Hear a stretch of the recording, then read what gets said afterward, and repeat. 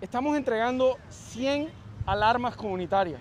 que contienen cámara de video, botones de pánico, enlaces con el centro de despachos de la policía, pero lo más importante, unas capacitaciones de la comunidad con la policía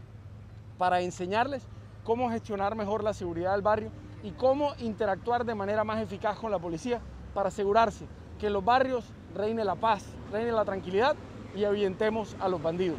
Son 100 cuadras que estamos en toda la ciudad implementando, pero no nos vamos a detener ahí porque el otro año instalaremos aún más para devolverle a la Barranquilla que estamos acostumbrados a tener la tranquilidad, la paz y la calma.